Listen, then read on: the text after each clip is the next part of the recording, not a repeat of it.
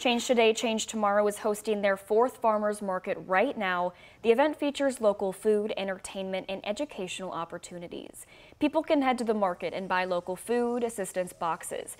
These boxes contain fresh produce like cabbage, cucumbers, grape tomatoes, bell peppers, and more. The food education group will also host live food demonstrations showcasing delicious and healthy ways to prepare the produce from the boxes.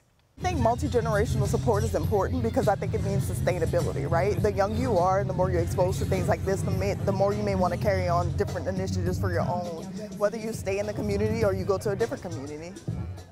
The event runs until 8 tonight, so you still have plenty of time to get out there. There will be parking, they will be in the parking lot of St. Benedict Center for Early Childhood Education. That is on South 25th Street.